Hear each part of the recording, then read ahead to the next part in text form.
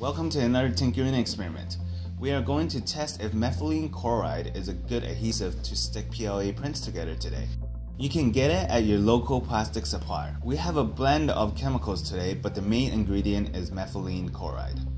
Methylene chloride is highly toxic, so try not to inhale it or taste it. But for those that are wondering, I've been told that it tastes kind of minty, so don't try it.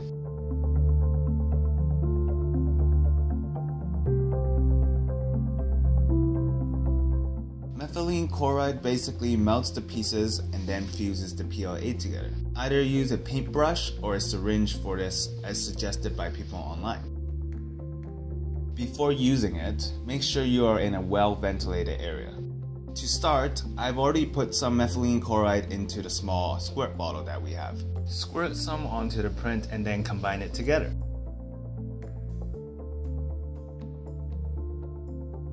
You have to do this fast because methylene chloride evaporates really quick.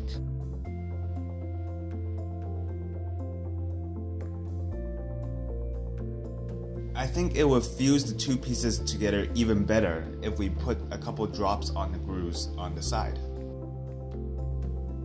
The instructions on the bottle says that it only takes 2 minutes for it to dry up and bond the two pieces together.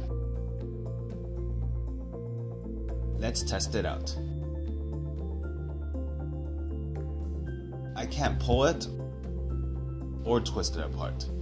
It's basically bonded into one piece. I don't hear any of that cracking noises like when I was testing out the wood glue. Well, there we have it. We tested methylene chloride out and it works like a charm. This is simply one of the quickest and best adhesive to date. The downside to methylene chloride is it's not very safe. Remember to use it only at a well ventilated area. It's highly toxic. Remember to subscribe and leave a comment on what kind of experience you would like to see in the future. Thank you for watching. Tinker out.